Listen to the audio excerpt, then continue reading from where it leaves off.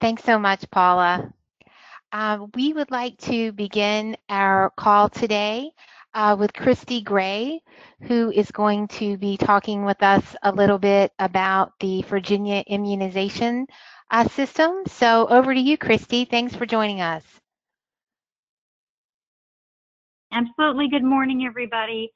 Uh, my name is Christy Gray. I'm the director of the Division of Immunization here at the Virginia Department of Health. And I really appreciate you uh, giving me the chance to speak with you today.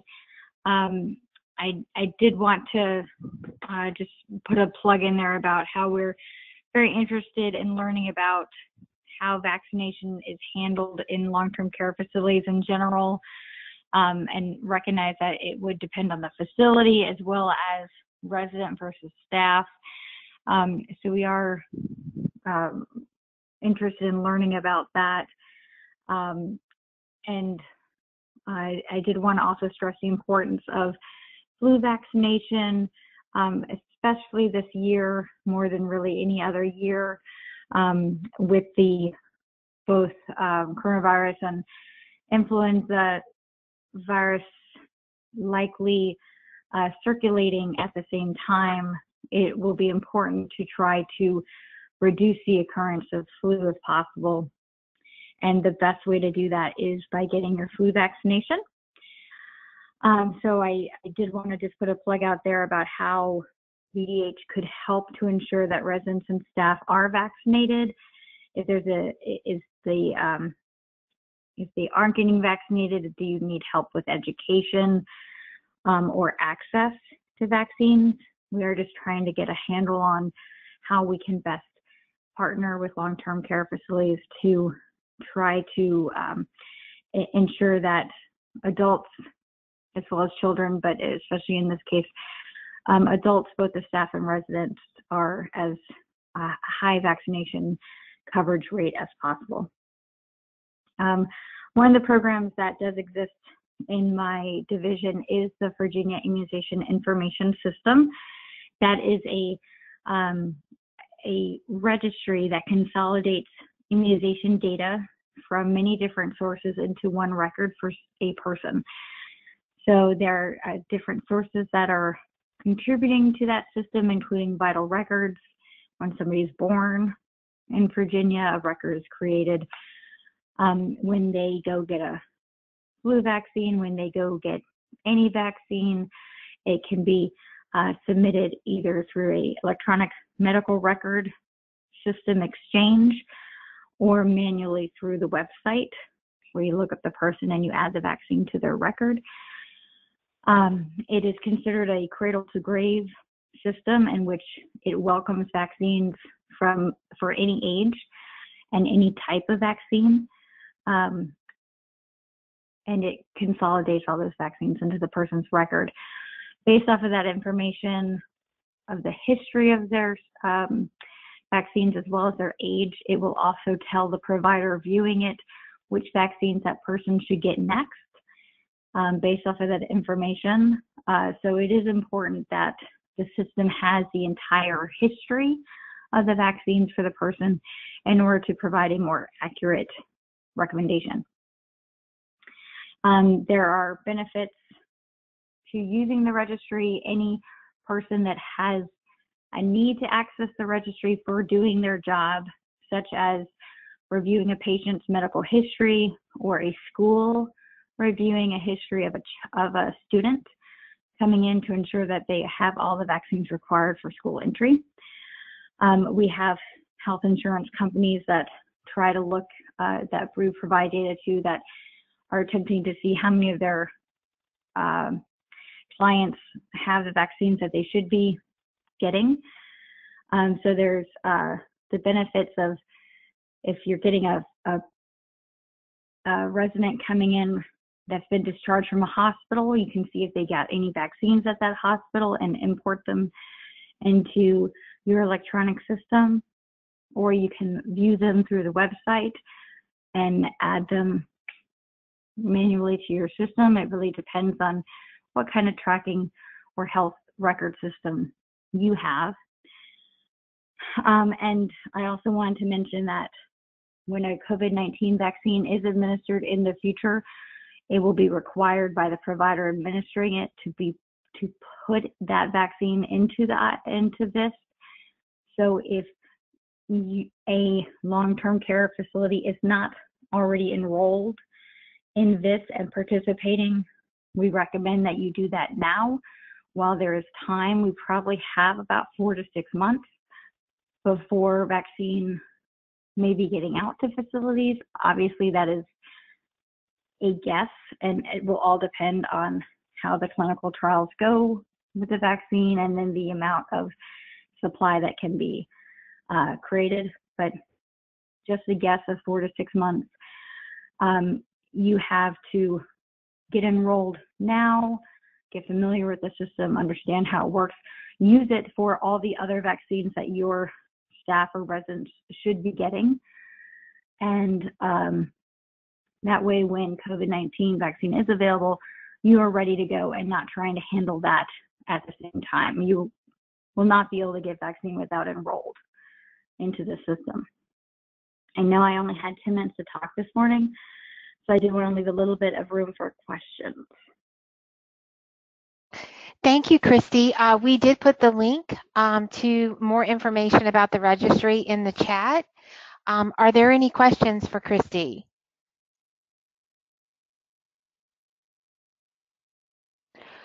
Well, thank you so much. Um, we will continue to include, in, oh, we have a question. Um, can we use that system to track COVID-19 tests that have been completed? No, not at this time. And, and I will also clarify that there's still a lot that needs to be decided by um, the experts as to what a test result means, such as an antibody test. We're very familiar with uh, hepatitis B titer tests, measles titer tests, mumps. These are uh, standard vaccine preventable diseases that we have a clear um, uh, opinion in the scientific community about what it means to have a certain level of antibodies and whether a vaccine should be administered based off of that.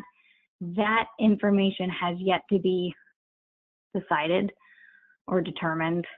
So even if we could be tracking testing right now, it wouldn't necessarily indicate whether somebody should get vaccinated. Uh, Christy, another question has come in. Will the vaccine be mandated for healthcare workers?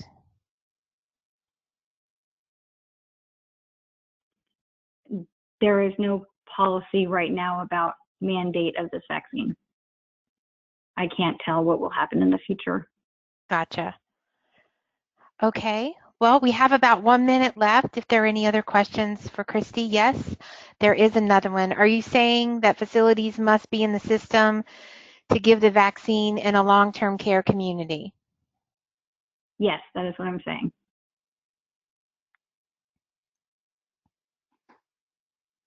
Okay, well, I'm just giving it another second here to see if any more questions come in. And if they don't, I understand this is a lot of information. Please feel free to reach out to me directly. We are just trying to get out to the long-term care facilities this important. It is a bit, the registry can be beneficial both outside and inside COVID-19. Um, and uh, really just trying to make sure that uh, there seems to be a gap of, uh, of knowledge um, we have not done a good job about getting this information to the long-term care facilities, and I'm trying to improve that. Well, I'm putting your um, email address in the chat box. So if folks want to reach out to you, we'll also have links to it in our update today, and then we'll just keep this conversation going.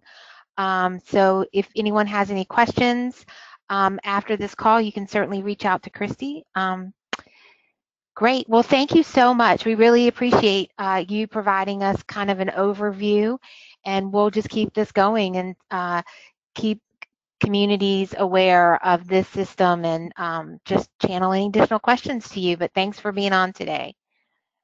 Absolutely. I'm happy to come back in any future weekly calls you have um, if requested. Okay, great. Thanks so much. So Thank we you. we are continuing our discussion about the nursing home reopening guidance. So Sarah, over to you. Thanks for joining us today. Dana, this is Carol. Sarah has a competing um, commitment that's very Okay. time sensitive, so I'm going to step in and just give a little bit of report I can give this morning and share as much information as I can with the group. So good morning, Okay. everyone. Thanks for Um, joining us, Carol. You're welcome. Um, just as we always do, we like to start with giving you our um, case count for Virginia. So today on our dashboard, we're reporting 63,203 cases, and the death count at this point stands at 1,786. Um, so that's the update on case count. Just to let everyone know, we know we have promised a FAQ document about reopening, and that document is pretty well constructed. Each day, we're continuing to get questions and interpretation that will make some of those questions and answers clearer. So we're hopeful that by the end of today, we will have that document finalized. But I apologize and I'm sorry that it has not come out as soon as we had hoped. But we want it to be as accurate and as concise as possible so that it's a really usable document for everyone. Well, Carol, we Um, appreciate you. Um, we've been involved in that, and our public policy committees provided a lot of feedback on the FAQ. So we just want to um, tell you we appreciate the opportunity to review it and be able to provide questions that can um, help provide further clarification. So uh, we, you know, look forward to being able to um, share that information. And we really appreciate that because we want the document to come out to be something that people can feel confident that has been reviewed by all parties involved and answers as many possible questions as, as we can. Um, I will say we'll probably have some core questions that are our most frequently occurring questions. And then we have some other questions that we're awaiting further comments on. So when you see it, just know it will sort of be a living document that will have more additions added. Um, one important thing that is sort of a priority right now is we have boots on the ground, several teams from um, the VA doing voluntary infection prevention assessments across the state. They are only here for this four week period, so this is the second week. So we are really um, actively involved in trying to get those visits scheduled. They're going well. I hope if any of you all have had the opportunity to have that visit, you all would have found that to be a useful tool. Um, they are reporting back to us each night. We have a drill down um, time with them to just learn if there are any burning issues or questions. And then we also have a weekly evening meeting to really address more in depth any questions or resources that are needed for facilities. One thing that we're hearing is, and, and I think we all know this, is that fit testing and train the trainer sessions are needed for respiratory protection programs. We don't want anyone um, feeling unsafe in an N95 respirator. We want them to be properly educated and trained. And again, I just want to remind you that our emergency preparedness team is offering throughout July, throughout the state, um, several sessions for train the trainer fit testing. And we have to have you sign up through Train Virginia and um, make sure that there's space because we of course have to physical distance during those sessions. I did check with with them and if more sessions are needed, they're willing to try to bring more people on to do that further into the summer. So we hope people will be able to take advantage of that. We know one roadblock is that there is a shortage of fit testing kits and solution and we we're feeling that on our end as well but we don't want that to hinder anyone to from coming um, there will be some fit test kits available through the trainers because we want people to get the education while we have the um, the means to provide the education until the supply chain opens up for fit test kits um, also we are in the midst of getting grant um, proposals or grant statements in for federal funds that we're receiving for infection prevention training to be shared with first line and frontline workers. And this will be um, not just in long term care, but in all settings.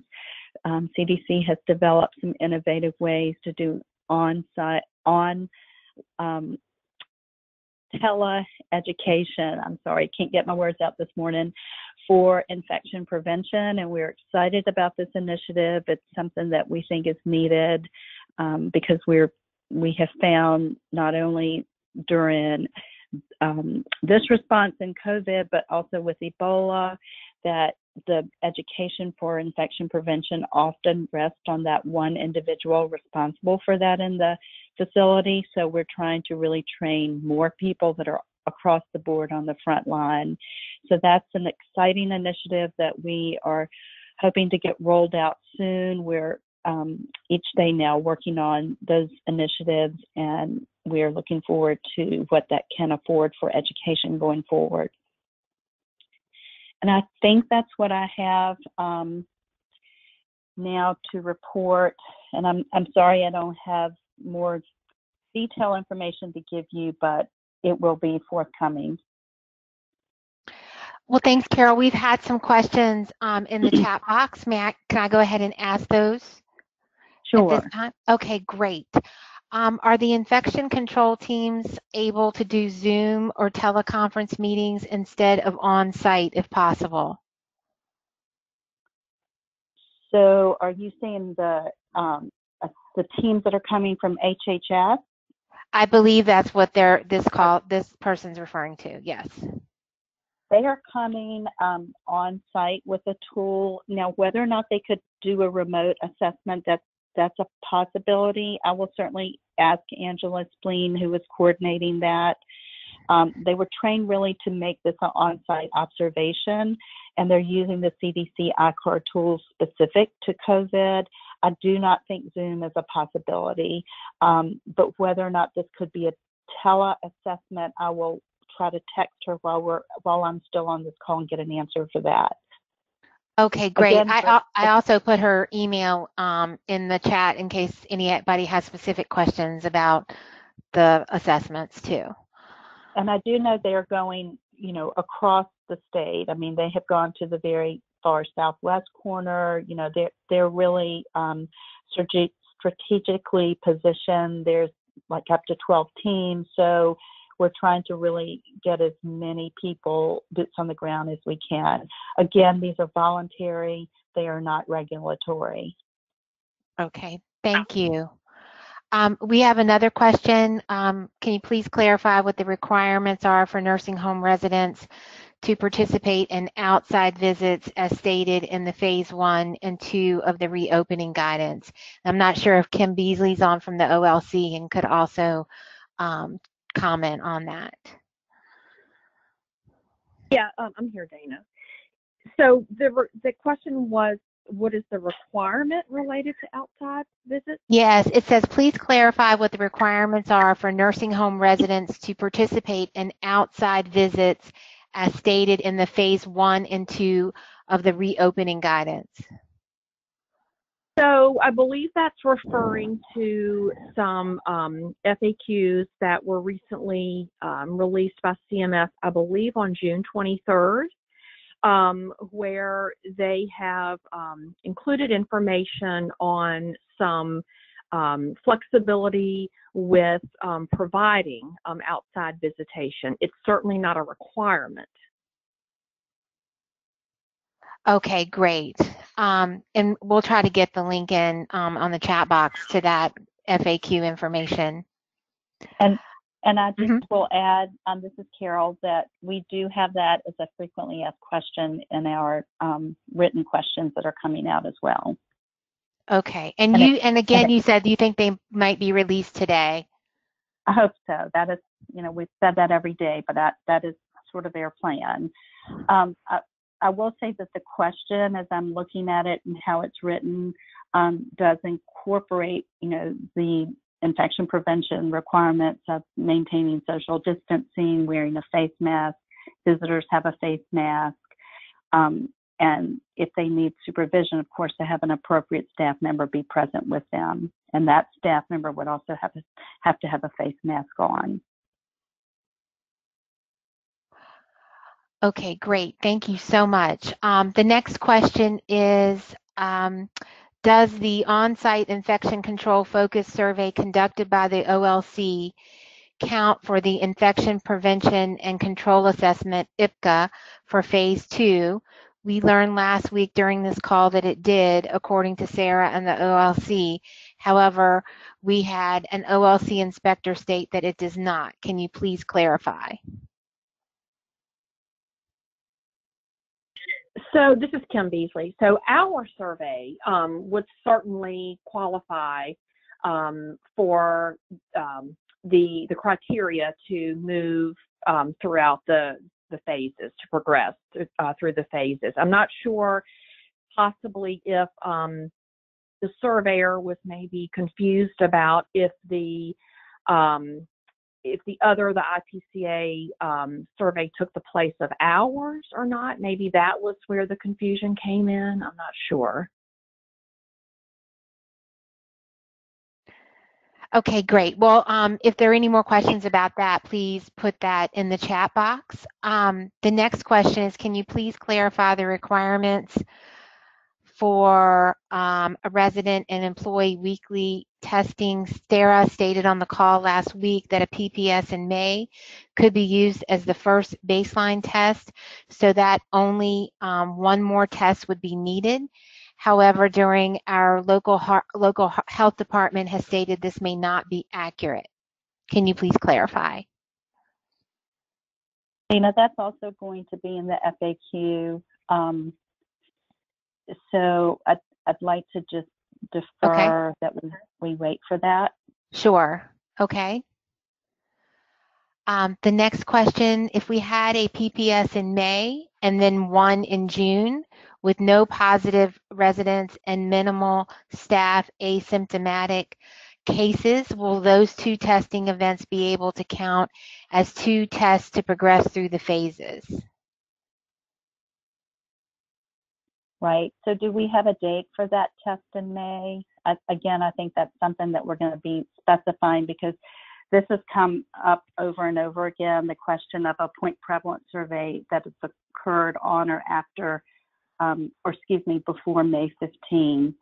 Um, so I, am sorry to not give you a direct answer, but if, I'm going to copy and paste that question and make sure that we are clarifying that in our FAQ because it is a very um, frequently asked question, as I should say, because of the dates that are involved.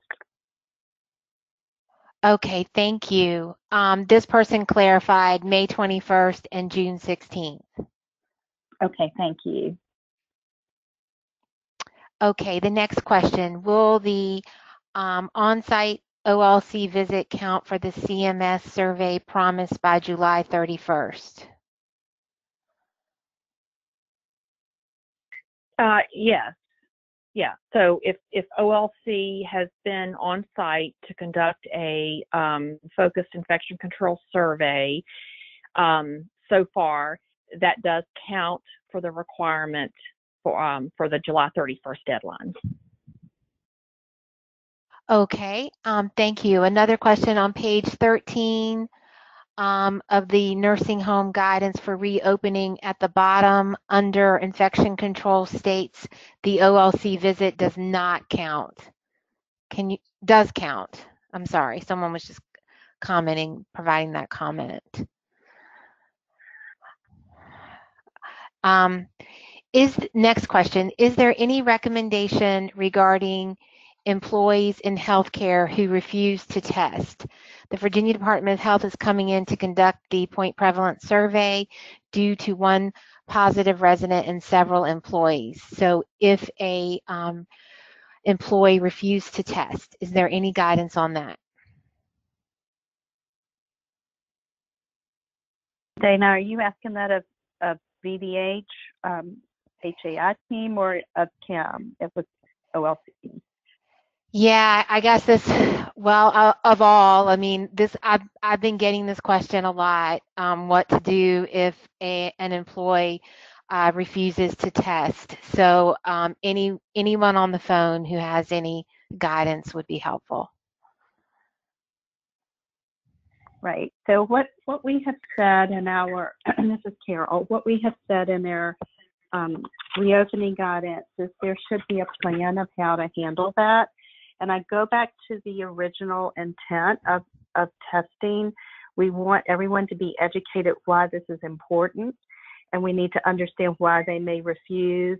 Are they afraid, for instance, that they um, would lose their job, or are they afraid they don't have sick time? So again, reassuring that person of the importance of the test, what the implications are if they don't do this test, how they put themselves and others at danger if they don't. But we do not, um, our team does not give employment guidance as to how to handle that type of situation. So there needs to be a plan that I think you can share that with CMS if they should come and ask, or OLC if they should come and ask this question of how you're going to educate, address concerns, and what your plan is in place for that. Kim, does that satisfy what you all would be asking for? Correct. Um, we we would um, be looking at the facility to um, have a plan as to how they would um, handle those types of situations. Thank you. Um, the next question is when will the regular annual OLC on-site inspections resume? Um, I have no idea as of yet. CMS has opened the survey suspension slightly um, to include complaints um, related to immediate jeopardy, um, allegations of abuse and neglect, um, inappropriate discharge. So they've opened up the the complaint investigation area um, a little bit more um, than just immediate jeopardy, and um, and that's that's really about it um, outside of the additional um, uh, COVID surveys that they are requiring of us. So there's you know in addition to conducting the first round of surveys, which were due by July 31st, um, there are additional um, infection control survey requirements that um, that we will be uh, conducting. So that, along with um, slightly opening up the criteria for complaint investigations. Thanks, Kim. Um, the next question, or yes. Mm -hmm. I'm sorry to interrupt. Um, I no just problem. go back, go back to the question about a te- uh, the HHS teams yes. doing remote assessments. And Angela, who is coordinating that effort for our team, wrote back and said that she has asked one team if they would do that, and they said yes. So yes, if the team agrees to do that, is is my way to say um, we would have to check with them just to make sure they agree with that approach. So I think if there is a request to do a, remote assessment versus an on-grounds assessment, if you will just let Angela know, she can see and check with the team. Okay, great. And again, her email address is in the chat box for anybody who needs it. Okay, um, the next one, we had a PPS last Wednesday and are still awaiting the test results. Is this typical of other communities' experience? Um, I guess if there's anybody who just wants to unmute and chime in if, if this is happening to you. If you're on the phone, you'd have to star six. So while we're waiting for people to unmute, this is Carol. We are hearing this. I think um, that that is unfortunate, um, and we we know that that is a, a delay and it's causing a lot of angst. I'm guessing, I don't know this for sure, but as we're ramping up testing, as more and more um, surge in cases or, or, or, excuse me, surge in testing is coming about, it could be delaying the larger facilities. As you know, we're having um, testing facilities, that is, we're having a, a large number of states across the country see an increase in tests and cases, which is probably taxing the um, the lab response time a little bit. But if you have a specific lab that's having that happen, and you want us to check into that to get a little bit more information. If you'll just include that in the chat box, we'll let you know. Okay, great. I think that kind of really um, addresses this uh, person's concern. Thank you. Um, the uh, next question, does testing for all residents and staff have to occur with every phase?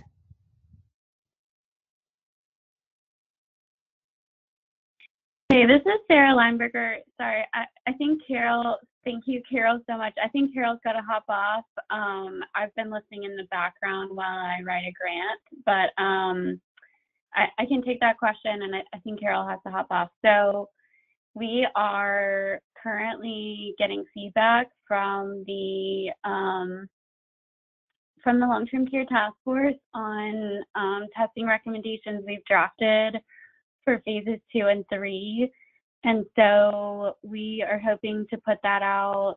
I hate to promise anything, but we're hoping to put that out um, early next week so that facilities can better plan for testing in phases two and three. We're we're having a another discussion about that tomorrow, but we're trying to finalize those recommendations. Okay, thanks, Sarah, and, and thanks for joining. Um, just a couple of comments came in about the PPS. Um, we had ours conducted last Wednesday, and we're still waiting on results. Another one, our PPS survey uh, results did take over a week. Um, yes, with our regional healthcare coalition in the state, and most are waiting 72 hours, five days. Our PPS was Monday, um, told me to expect a week. So that seems to be um, the trend.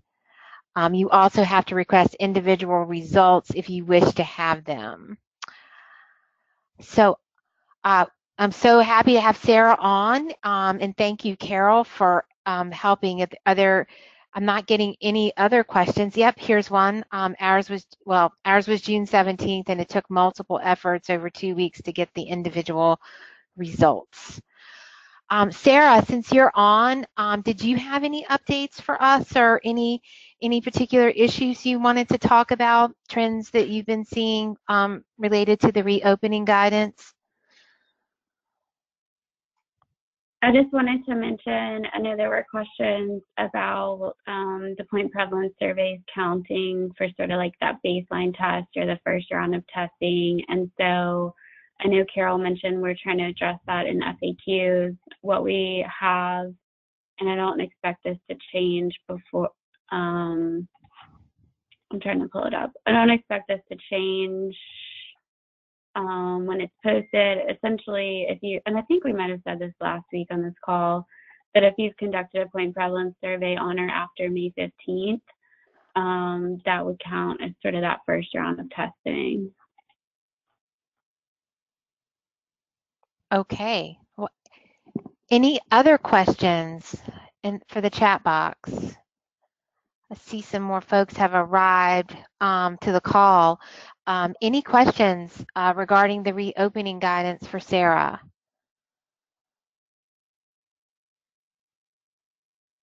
So we're looking at the FAQ um, to potentially be posted um, today. Um, any other development, Sarah, that you wanted to talk about? Hmm, that's a good question. Um,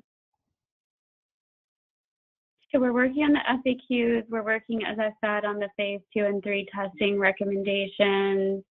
Um, I believe that we will plan a couple statewide webinars. We've mostly been giving updates to facilities on these association calls, which has been really great, um, but we might not be reaching all facilities in the state who might not be part of um, LeadingAge or other associations. And there are some good examples in nursing homes that you know that have been happening. So we might plan a couple statewide webinars. I don't have a timeline yet on that to highlight some some best practices and certainly would i'm open to any suggestions for facilities to highlight. One thing we would like to talk about is how to, you know, secure a testing contract if you don't have one and, and do that weekly testing. And so if there are any facilities who have been able to successfully do the weekly testing of staff and residents in their facility, um, following their initial baseline testing event, then that would be really helpful to highlight to other facilities sort of your experience and how to do that. Um, I, I, think just to um, further talk about vaccination and planning for the fall, that that would potentially be a topic of an, an additional webinar. Um, I know Christy talked to you all this morning, and that's great, but you know, for the fall and planning, our our group hasn't had a lot of chance, a lot of opportunity to think about that yet. But we're thinking about flu and COVID, and under understand that CDC is potentially developing some materials about co-infections um, in the fall, and so you know, may have a webinar, a statewide webinar for nursing homes to just think about planning for the fall, including immunizations, but other other planning as well. Well, Sarah, um, before we get to some of the other questions that have entered into the chat box, I just wanted to thank you because you've been so helpful to um, to our members and all the information that you've provided and for the opportunity to weigh in on the draft testing recommendations yesterday. Um, we really appreciate that and all that um, the department is doing. So we have had some more questions come in. Um, once you receive baseline testing, does the weekly testing apply to all patients, positive patients, or randomized uh, random sample? So for the weekly testing, that would be all residents and staff who have not previously tested positive. So if someone previously tested positive, then they wouldn't need to be retested. And that that is in the reopening guidance document. Okay, great. Um, a question about fit test training. When will additional fit test training, the trainer classes be scheduled? Um, I, I don't know. I know there are several scheduled in July. I'm not sure if a need has been identified to schedule more. I think there are five or six. I don't, do are folks hearing that they're already full? I can certainly. I know Carol said she talked to Susie recently. We can cer- certainly loop back with that team at VDH and and see if sessions are already full and if they're planning to schedule additional sessions. I know they said they would be able to if needed. And just to let everybody know, in our updates, we have the information on how to register for that. You'll have to fill out an OSHA medical questionnaire. There's a course ID number. Um, so all of that information that you need to um, get that scheduled is in our update um, from yesterday and today, and that's going out today. Um, someone said that they had been waitlisted. Um, oh, Sarah, just to let you know. Yeah, that's good feedback. Okay, um, another question. If we do a testing and include agency staff and they test positive, are we required to submit those positives to VDH through the FRI? The reason I ask is because agency staff work at multiple facilities.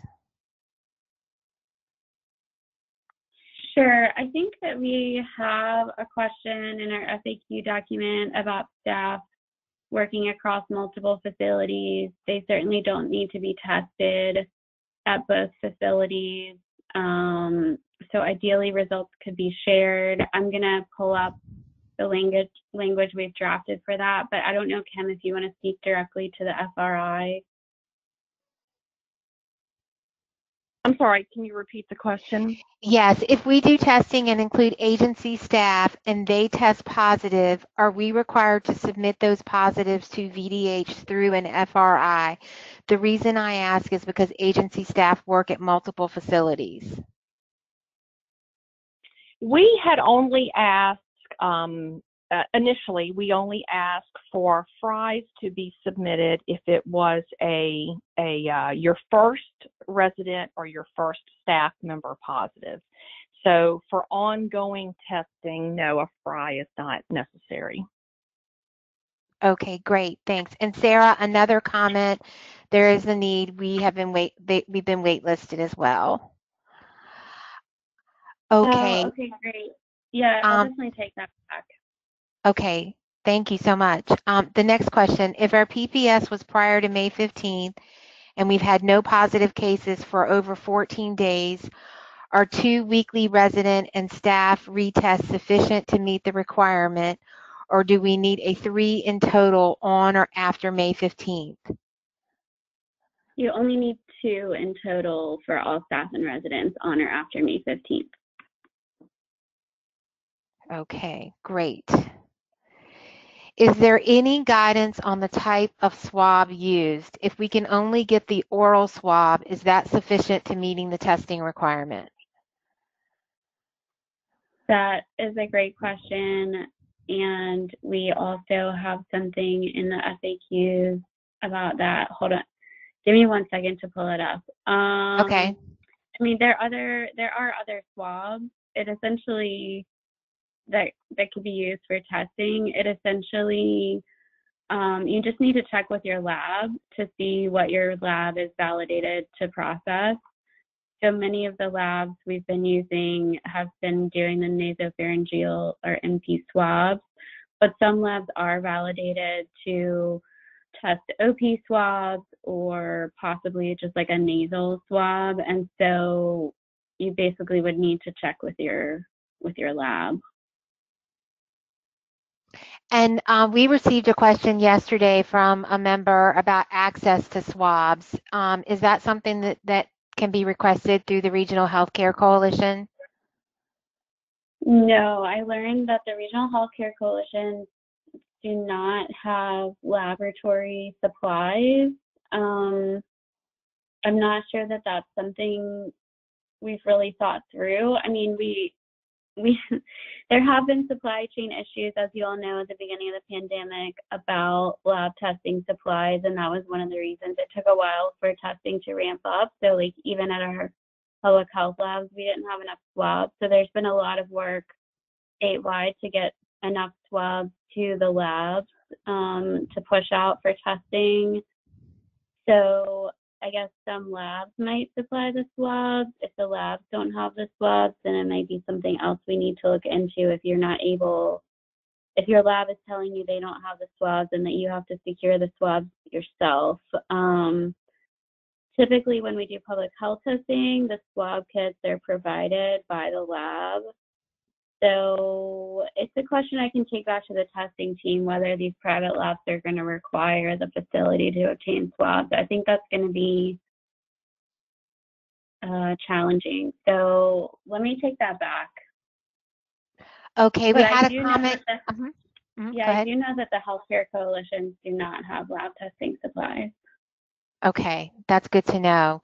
Um, a comment came in, lab said they aren't validated for sensitivity or specificities because of the waiver with the FDA related to the emergency, but have positive predictive values in range. Okay, um, mhm. Okay. Did, did you have a comment, Sarah, before I go on to the next question? no. Okay. Um, under the definition of staff and the reopening guidance, it includes contractual staff not employed by the facility. Did I hear correctly that the guidance does not recommend that we test agency staff? Mm, what does that mean? What is agency staff?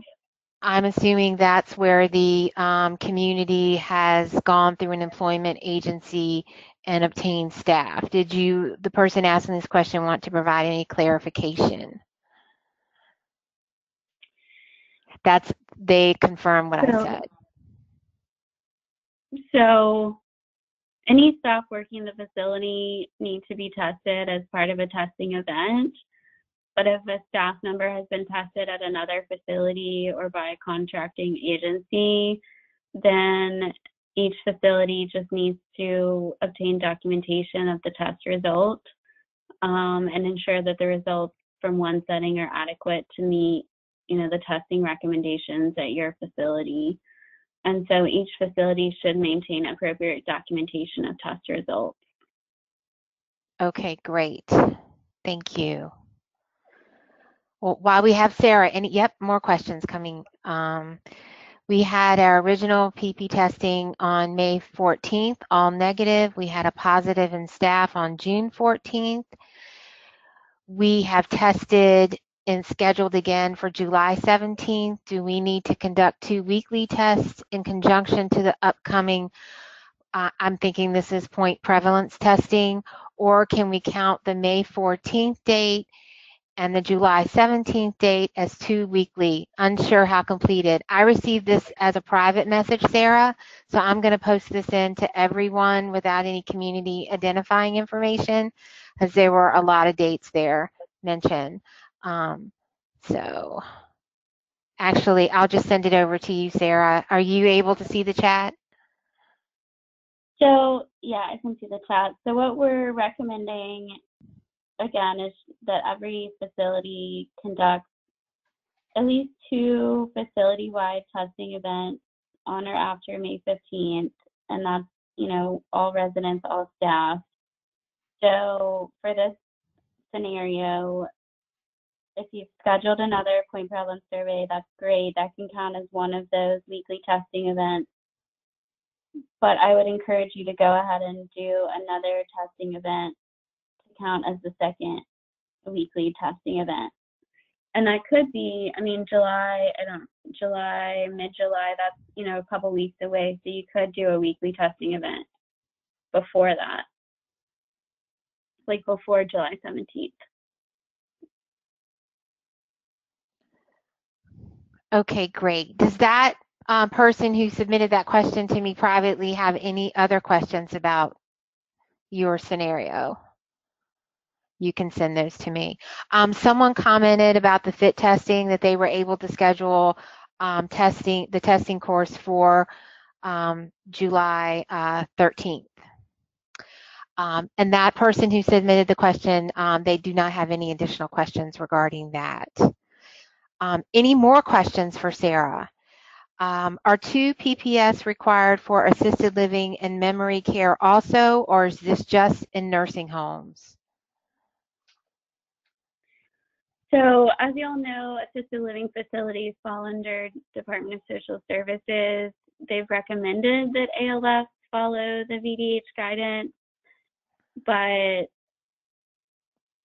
that's not a requirement from DSS. Um, so I, I, think I would just defer to what the facility decides to do and maybe talk to DSS about that. Um, I do know that the National Guard is scheduling ALF to do a, a baseline testing event if you haven't already through the end of August. Um, so if an ALF is, in, is interested in scheduling a baseline testing event, I would encourage you to go ahead and do that with the VANG while we have them and, and they're calling ALF proactively, I believe, to schedule those. But in terms of doing additional testing, um, you know, I would I would recommend you talk to your DSS representatives about that, but I, I don't think that it's required. Um, Sarah, so we shared a memo that we had from you all yesterday about nursing homes needing to schedule their point prevalence survey no later than July 6th. Uh, and that the contact person with the National Guard is Gregory Chu. Would that also be the contact person for assisted livings to schedule a PPS? Yes, you can use Colonel Chu. Um, I, I think that's fine. I think he has a team working on that and I believe that's the cutoff for nursing homes. I don't know if that's the cutoff for assisted living, but I would encourage you to go ahead and reach out if you would like to. If you haven't talked to the guard already and you're in an assisted living facility, I would encourage you to go ahead and reach out and try to get on that schedule. Okay, um, great. Yes, the, the letter that we shared was for nursing homes only and that the deadline was July 6th uh, to get that scheduled. And so just to clarify, um, when I shared that memo with our members, I got some follow-up questions about do they still need to reach out to Colonel Chu if they um, already have been in contact with the National Guard and got something in the works.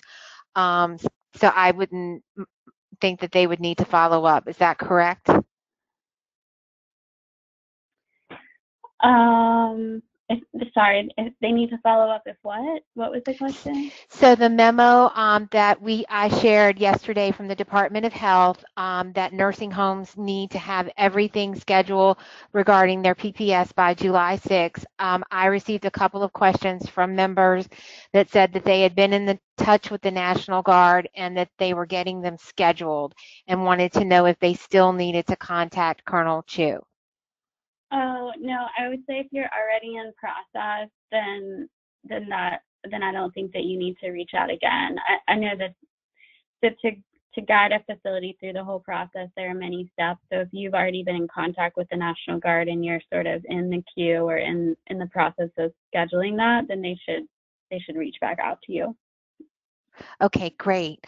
Um, another question, if you're a continuing care retirement community, does all staff testing only include the nursing home staff?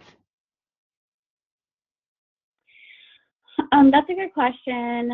Um, for a CCRC, I would just encourage you to think about how if your staff overlap in different parts of your community or not. If the nursing home staff are fairly, um, you know, contained and that they're they only work on the nursing home unit, you know, that's great. And you could just focus on those staff. If there are like ancillary staff or therapists, that kind of thing, who might cross over into different parts of your facility, I would encourage you to think about testing all staff who who work in the nursing home, even if they work in other sections as well. Does that make sense? Um, that does to me. I, will ask the person to put the question in, in the chat box if they need any further clarification. So I'll let them do that um, while we're asking the, uh, ask the next question.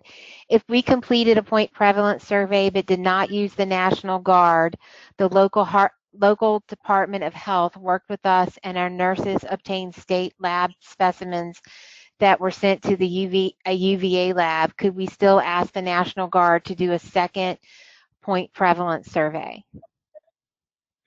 Yes, I would encourage you to go ahead and reach out and try to get that scheduled. But yes, I, if you haven't used the National Guard yet, then that's certainly still an option.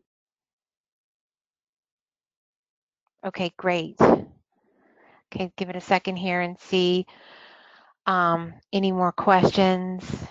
Uh, Sarah, when do you think the testing recommendations will be um, available that we've been working on? I think um, early next week is what we're shooting for. I don't think that that will be finalized this week. We're, we have another discussion with stakeholders tomorrow, but we're we're trying to push that out early next week. Okay, great. Well, I'm not getting any additional uh, questions. So just giving it a second, just okay. Well, um, we'll end a little early today. Um, thanks, everybody. These are all great questions. As soon as the FAQ becomes available, uh, we'll get that out to you and keep you posted on the testing recommendations as we work with the department on those. So thank you to Sarah, Carol, and Christy, and thanks again, everybody on the phone, and hope you have a great rest of the week.